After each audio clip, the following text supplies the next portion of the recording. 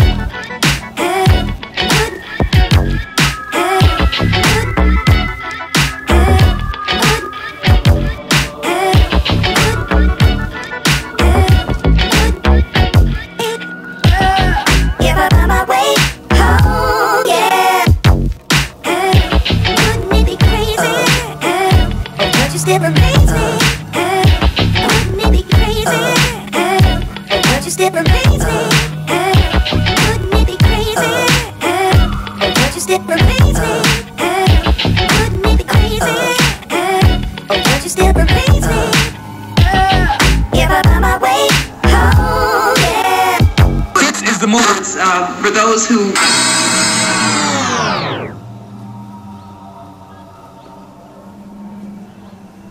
До конца своих дней Амар не мог забыть краха своей первой любви. Не мог понять, что могло случиться. Что толкнуло Туркан Хатун в объятия Малика.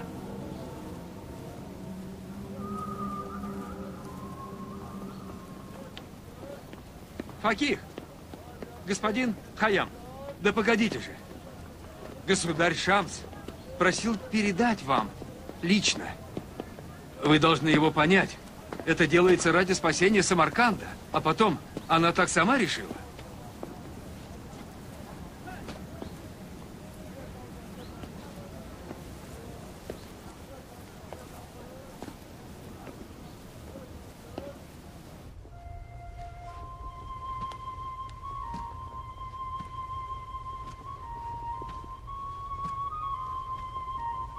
Чтоб мудро жизнь прожить, знать надобно немало. Два важных правила запомни для начала. Ты лучше голодай, чем что попало есть. И лучше будь один, чем вместе с кем попало.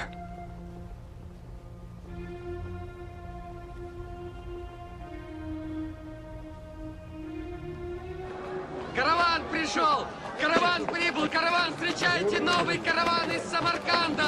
Смотрите, Ай, ай, ай, ай. Какой товар привезли караванщики? Богатый.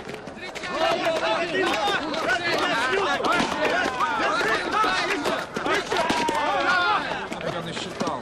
Еще повозки. 50 товару.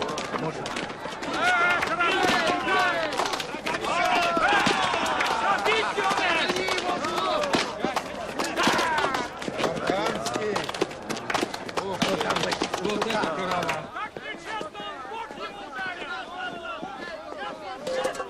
Смилуйтесь, господин! Пощадите! Пощадите! Детей моих пожалейте! Богом прошу! Не знал я! Не знал я, кто вы! Что ты делаешь? Встань! Никто не думает сводить с тобой счеты.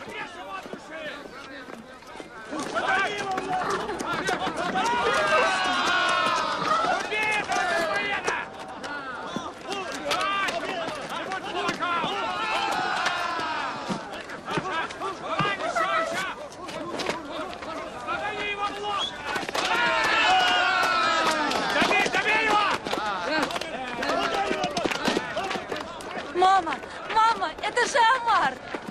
Амар, сын мой, сын мой! Дай-ка я тебя обниму, сыночек. Что-то ты похудел, сынок. Бледный весь. Не болеешь случайно? Нет, мама. Слава Аллаху, сынок, сыночек. Зухара, доченька, мы так без вас скучали, так скучали. Правда, мамочка? Амар! Амар! Нет, вы только на него посмотрите, какой он стал, а! Господин главный звездочет! А я вижу, ты не один. С юной женой? Да ты что? Это же Перри! Ты что, не узнал ее? Здравствуй, Перри. Здравствуйте.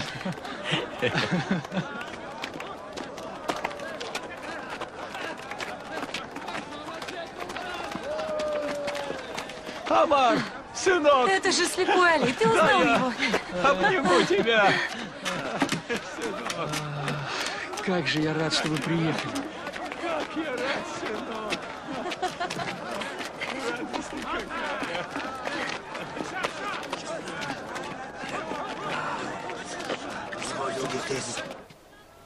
Амар, ты знаешь, у меня такое странное ощущение, как будто кто-то все время разглядывает меня. Да, я это почувствовал, особенно здесь, во дворце. Все время рядом чьи-то уши, глаза. Это Тутуш. Его люди. Тутуш? Да, он здесь, при дворе. Он узнал тебя? Конечно. С первого взгляда. Ты часто его видишь? Каждый день. Как же ты здесь живешь, Амар? Вот так и живу. Нет, я так не смогу. Сможешь. Особенно, если увидишь одного человека. Какого человека? Твоего второго названного брата. Хасан? Он жив? Ты видел его? Как тебя сейчас. Он здесь, при дворе. Командует одним отрядом городской стражи. Как мне его найти? Я сам его видел один раз. Он обещал меня найти, если я ему понадоблюсь. Я обязательно должен с ним встретиться. Знаешь, я часто его вспоминаю. Мы с тобой люди пера, а он... Он совсем другой. Это единственный человек, который всегда точно знает, как быть, с кем и куда идти. Именно такие люди вершат великие дела мира. А мы только описываем и объясняем. Разве это не так, Амар? Иногда объяснить означает предостеречь и спасти от бедствий. От смерти, от крови. Очень редко. Кто нас слушает? Кому мы нужны? А такие люди, как Хасан, повелевают. Их слушают. Скажи, Амар, он не изменился? Наоборот. Он даже дает советы юному султану. А он помнит про нашу кровную клятву? Об этом ты его спросишь сам. Да, спрошу. Обязательно спрошу. А это что? Стихи? А, да нет, наброски. Не дрогнут ветки. Ночь. Я одинок. Во тьме роняет роза лепесток. Так ты ушла. И горьких опьянений Летучий бред развеян и далек.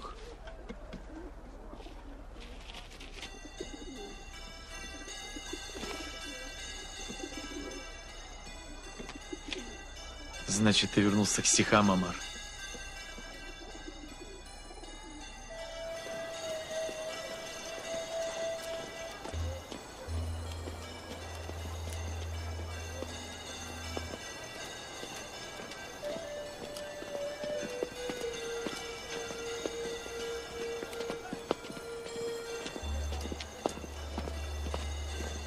Гибель Алпарслана прервала очередной победный поход Сельджукской Орды. Тысячники требовали продолжения похода на Самарканд.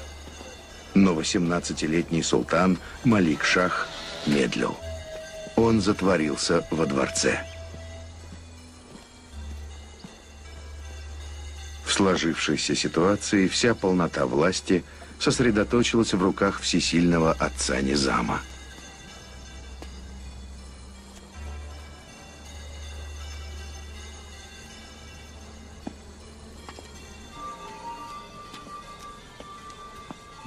Тебе, господин главный звездочет.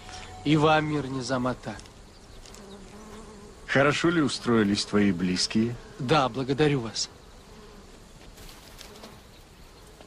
Садись. Угощайся. Благодарю. Будущему дому нужна и хорошая хозяйка. Нет ли у тебя такой на примете? Нет, не замота. Ну ничего, найдется. Только выбирай с умом, чтобы самому не потеряться. Вот скрылся наш султан в Жониной спальне. Так мы теперь не знаем, есть у нас султан или нет его. А время идет. Стоят дела, стоит армия. Да и враги того и гляди, головы подымут.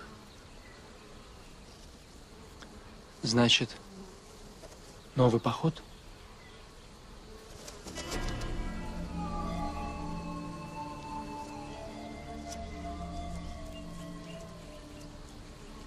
Все непременно, дорогой Амар. И главный звездочет должен бы его подсказать, посулить удачу, благословить. На новую кровь? На новые разорения? Великие цели требуют жертв, дорогой Амар. А истину в иные головы приходится вбивать палками. Иногда для пользы этих же голов. А бывает ли истина из-под палки? Дочерняя она только так и доходит. А ты мечтаешь о вечном мире, о покое. Ну о каком мире может идти речь, когда враги только и ждут, чтобы вцепиться нам в горло? Да и наше великое сельджукское войско вряд ли станет на корточках сбивать молоко в масло. Оно ждет дела. Выходит, теперь не вы ведете войско, а оно вас. Но ведь это же замкнутый круг. Успокойся, дорогой Амар. Ты потревожил Божье создание. Не замота. Вы можете выгнать меня из дома, отдать на съедение своим пчелам. Но я никогда не буду предсказывать султану новых походов.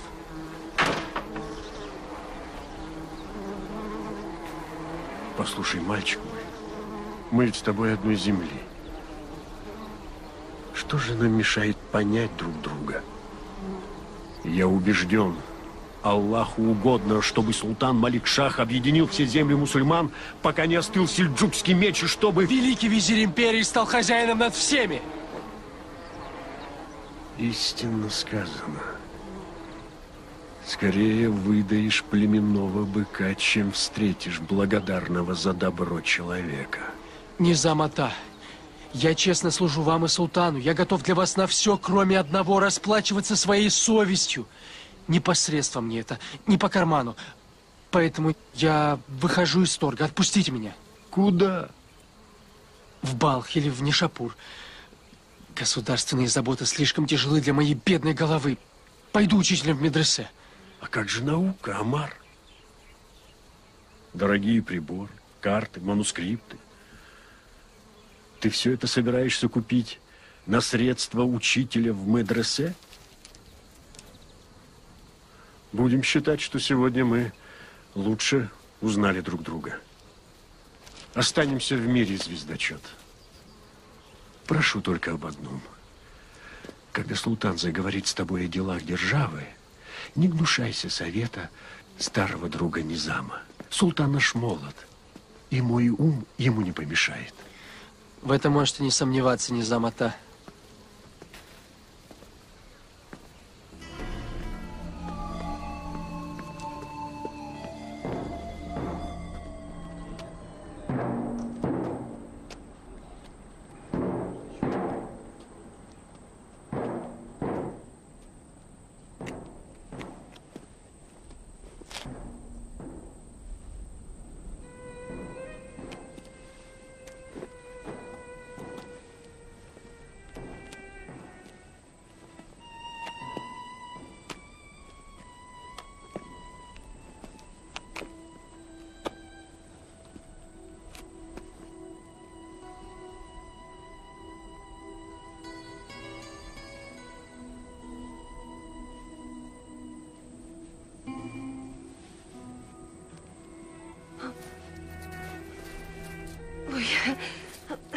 Ой. Ты что здесь делаешь? Почему не в доме? Я... Ну как? Я брата жду. Вы к нему? Да. Уже поздно. Ты не боишься? Нет. А вдруг разбойники?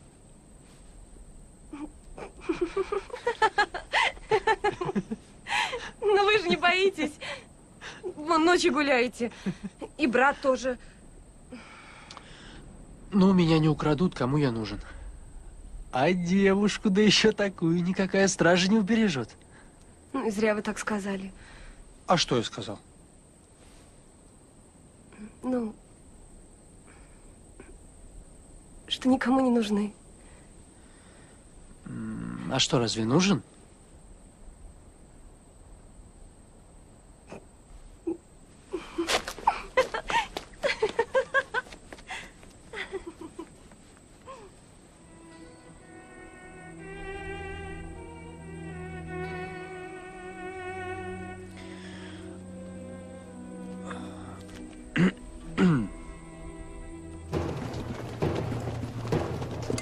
Великий визирь настоял таки на своем. Султан Малик Шах выехал к войску и возглавил новый поход. Но уже в самом начале похода возникли трудности. В споре о них столкнулись давние враги. Один из названных братьев Амара Хасан Сабах и великий визирь Низам.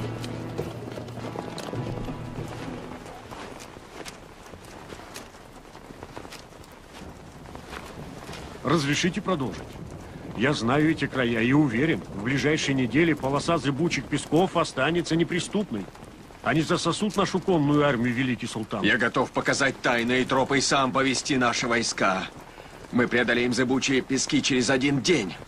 Они пропитаны дождем и для всадников непроходимы. Интересно слушать о воинском деле от человека, который без посторонней помощи на коня-то сесть не может. Велик Аллах!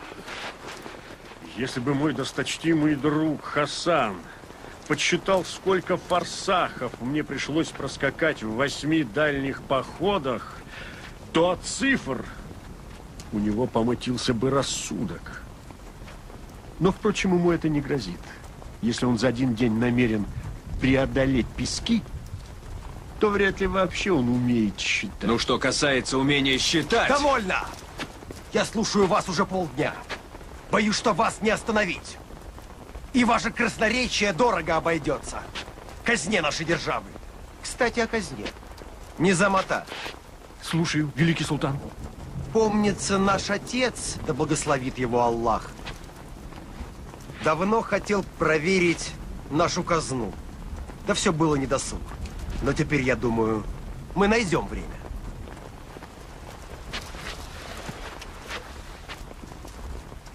Когда вы готовы предоставить такой отчет, господин великий визирь?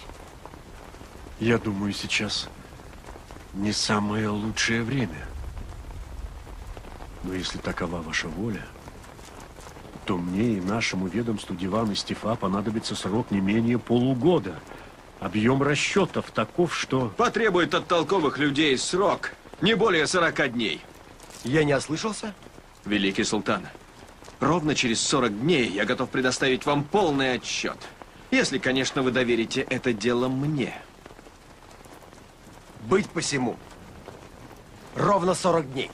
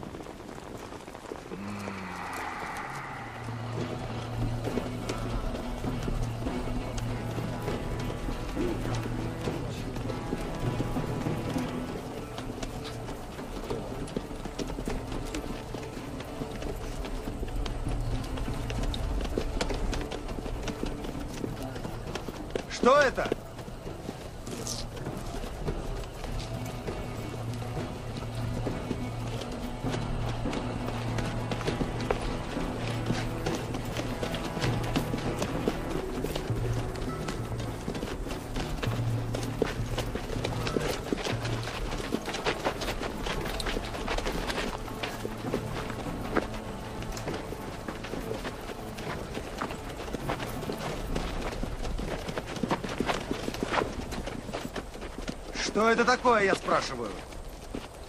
Засуха, государь. Засуха? Разве весна была жаркой? Дозволь сказать, государь. Говори. Поздно засеяли. Вот смотрите. Росток не успел набрать силу до жары. Вот и засох. Почему поздно сеяли? В срок сеяли, повелитель. В срок. Как всегда. В первую неделю из Фандермуза. Да видно, прогневали Всевышнего. Опять не послал нам хлеба. Давно не урожай? Семь лет, повелитель. Дети мрут. Голод у нас, голод. Проклял нас Господь. Оставил без защиты и без помощи. Раздать им зерно. У тебя у самого, государь, запасы невелики. Год-то повсюду выдался неурожайный. Раздать, я сказал. Будет исполнено.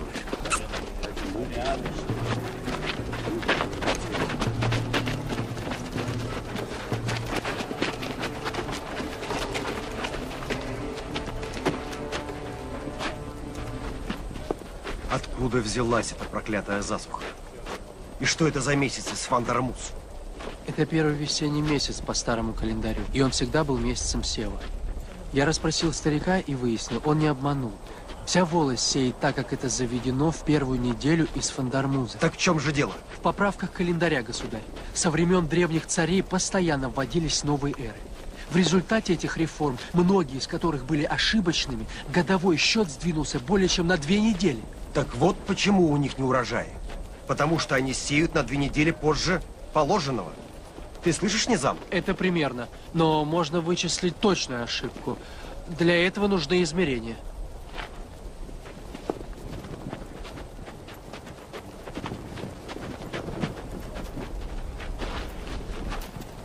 Какие измерения тебе нужны? Боюсь излишне озаботить вас, государь, но для точных измерений надобно весьма многое. Что, говори? Во-первых, звездная башня по особым чертежам. Затем приборы и инструменты. Астролябии, очень большие и циклопические, тоже по особым чертежам. Увеличительные стекла, греческие лупы, циркули всех видов, угломеры, стекла особого заказа из Византии. Звездные карты, нужны книги и рукописи со всего света. Все? Еще целый свиток инструментов и приспособлений из Фракии, Индии, Рума, Китая. Быть посему. Визирь, готовь указ. Кроме того, наблюдения должны быть постоянными. Нужны люди из числа ученых. Быть посему. И нужны собрания всех небесных камней, э, всех видов и форм. Амар, побойся Бога. Государь, он разорит державу. Быть посему.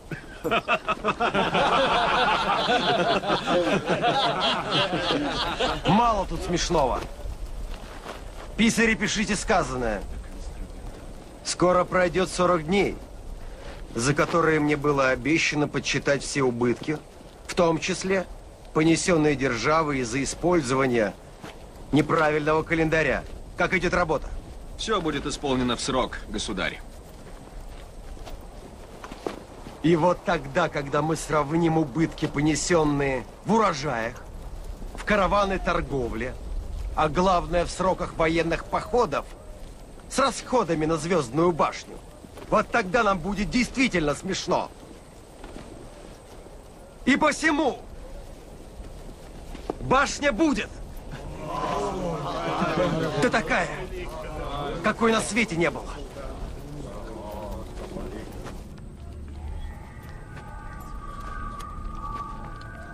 Мы источник веселья и скорби рудник. Мы вместилище скверны и чистый родник. Человек словно в зеркале мир, многолик. Он ничтожен, и он же безмерно велик.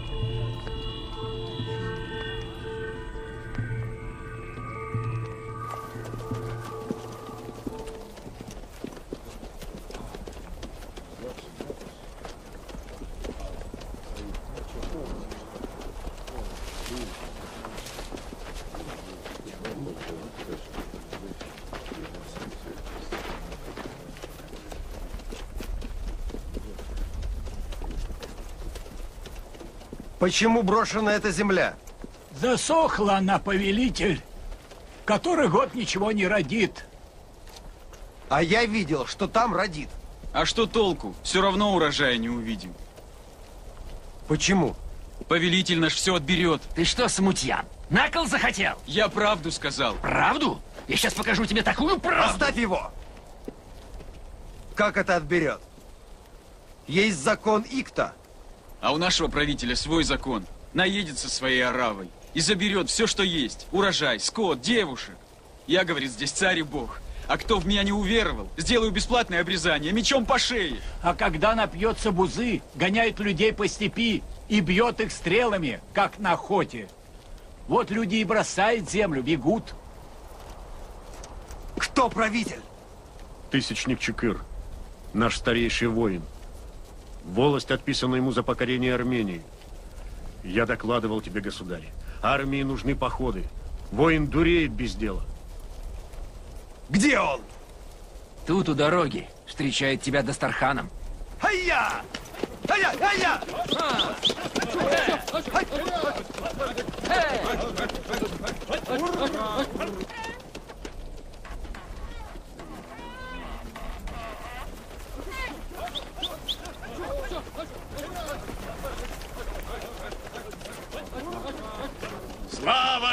Самого Алпарслана! Наконец-то! Милости прошу!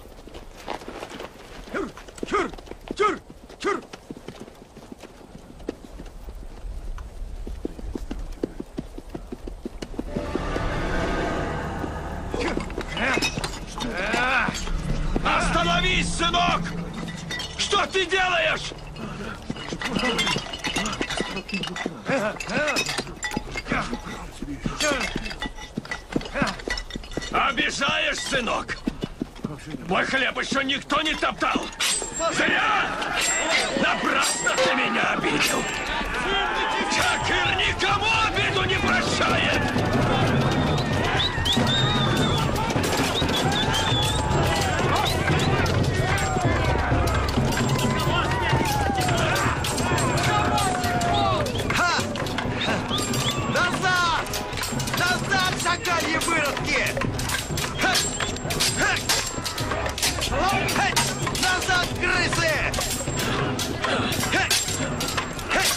На кол! Всех! Да так! Чтобы на всю степь видно было!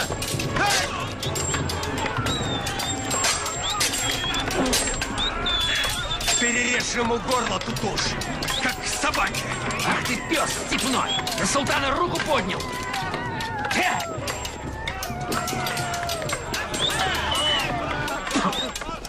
Всех на кол! И живых, и мертвых! Да так! Чтобы на всю степь видно было! Султан, нехорошо. Не позорь Чекыра хоть после смерти. Дозволь похоронить как мусульманина. Еще одно слово, и клянусь Аллахом, ты окажешься рядом с ним.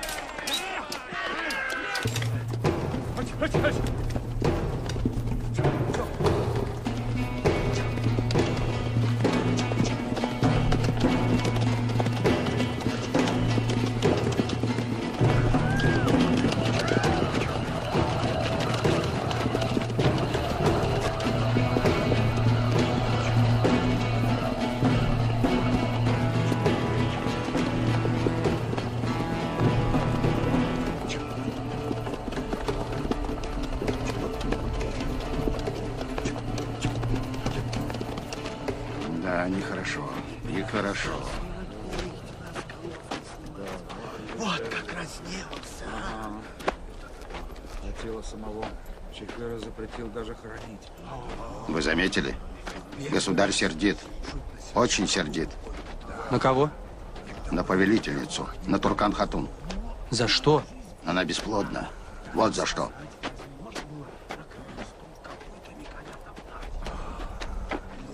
Он же настоящий. Палатит.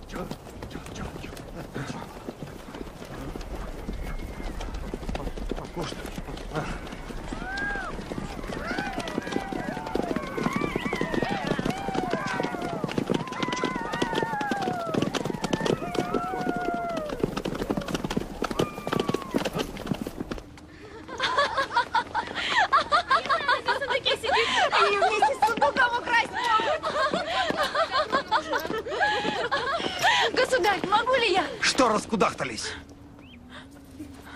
Вижу, вам совсем заняться нечем.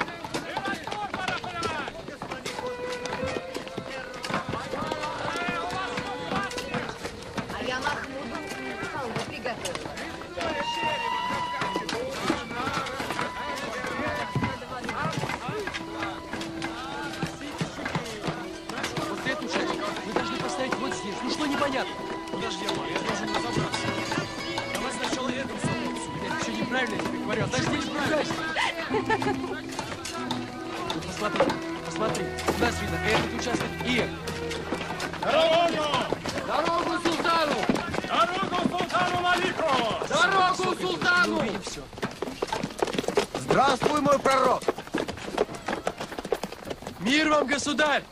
Добро пожаловать! Как дела? Как идет строительство? Отменно, государь! Все приборы и материалы лучшего качества. Об этом можно было только мечтать. Так и должно быть. Твоя башня самая важная стройка державы. Я своим дворцом столько не занимаюсь. Благодарю вас, государь.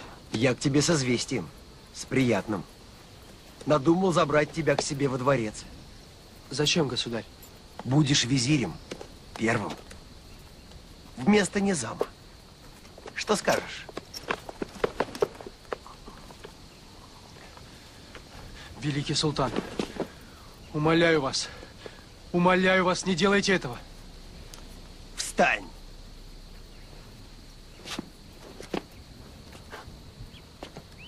Это почему? Но ведь это конец. Конец всему, что я задумал. Вот оно мое дело. То, для чего родился я на свет. Дайте мне закончить мою башню, молю вас. Никто у тебя ее не отнимает. Я клянусь вам, государь. Эта башня прославит ваше имя в веках больше, чем сотни походов и завоеваний. Ведь с нее мы увидим то, чего еще никто никогда не видел. Что есть солнце, что есть звезды, кто движет небеса вокруг земли, и не движется ли она сама. В чем сущность нашей жизни здесь, и есть ли другая жизнь там? Ты не хочешь власти? Государь, Ты меня не убедил. Готовься принять державу. И не вздумай отказываться, я тебе этого не прощу.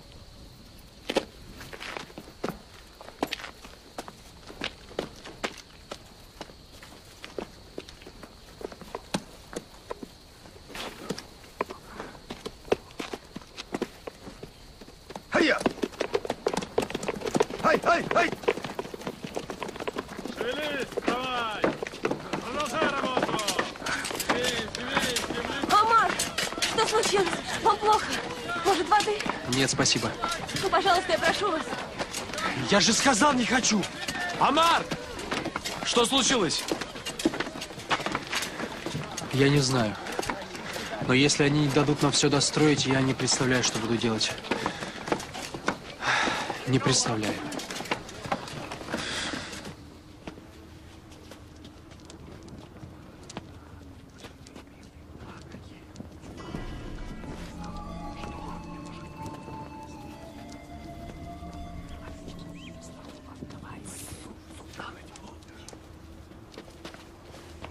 Пришел день отчета. Вы готовы, Хасан Сабах? Полностью, великий султан.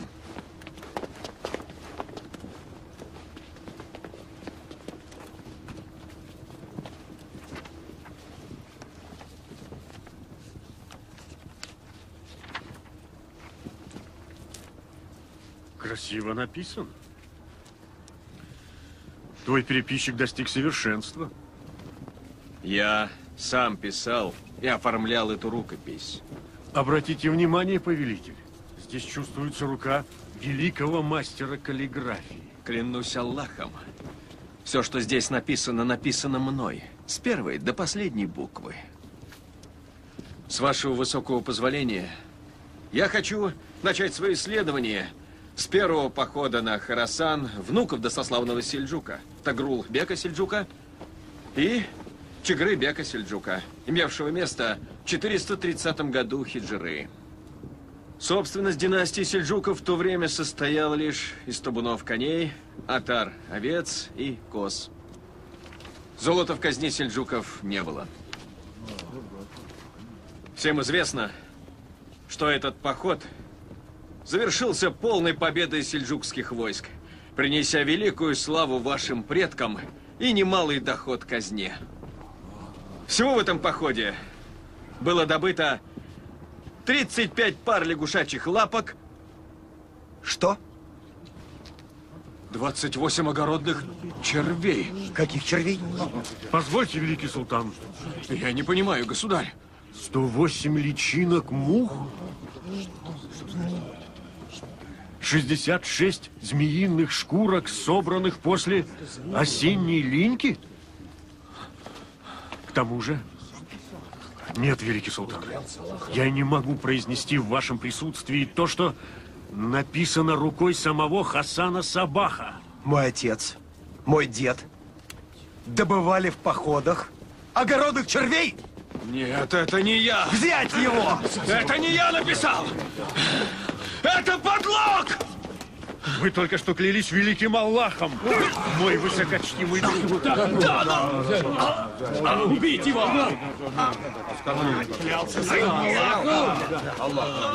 Великий султан, могу ли я просить вас выслушать меня? Говори. Великий пророк Сулейман сказал, когда я давал волю своему гневу, я всегда потом жалел об этом.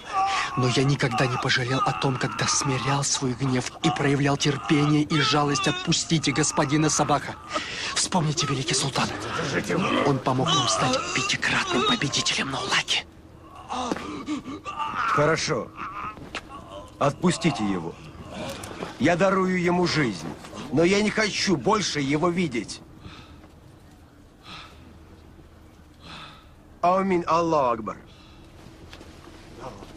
Великого визиря не называли бы при жизни великим, если бы он не владел всеми способами расправы над своими соперниками и врагами.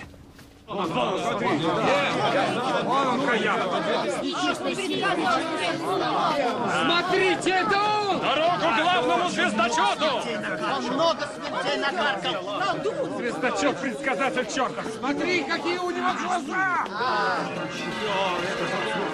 Он затмеет, что маханье мои смерти на Проклятый колдун! Нечистой силе служит! Только... Будь ты проклят! Убейте его!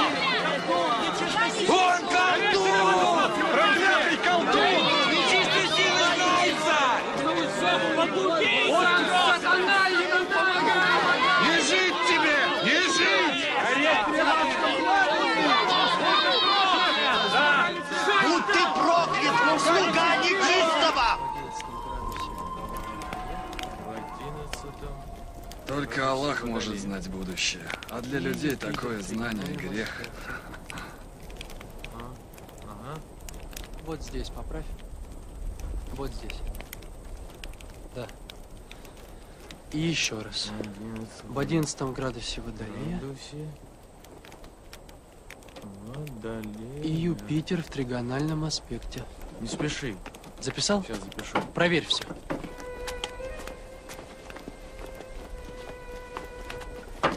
Перри.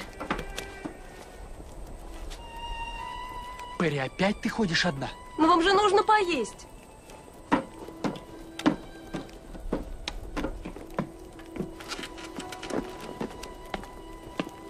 Сегодня днем я крикнул на тебя, ты не обижайся. Я не обижаюсь. Правда? Ну, конечно. Вы не думайте, я понимаю. Вам очень трудно. Вы хотите одно, а вас заставляет другое. Так? Да, Перри, именно так. Я понимаю. Я, я очень понимаю вас. Я только не знаю, чем помочь. А ты будь со мной рядом. Это самая лучшая помощь. Будешь?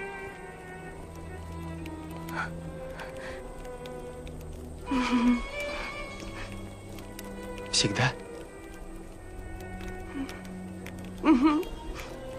Я только сейчас понял, что мне это необходимо. А тебе?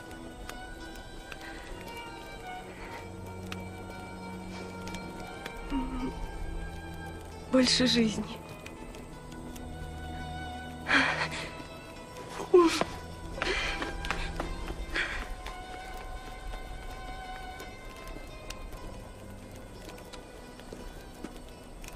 Амар! Амар! Кто это там? Невеста моя! Кто?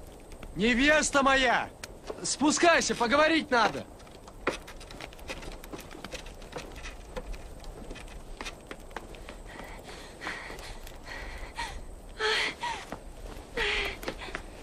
Перри? Почему ты выбрал именно мою сестру, Амар? Разве на свете мало девушек? Ну, так уж получилось. Если ты мне друг, значит, можно и сестру забрать. Я знаю, это все она. Я с ней дома поговорю. Нет, Абу. Пожалуйста, считай, что разговора не было, только Перри не трогай. Что значит разговора не было? Что значит разговора не было? Да нет, ты не понял. Я все понял, все! Попробуй не женись. Зарежу, Амар. Из-под земли достану. Понял?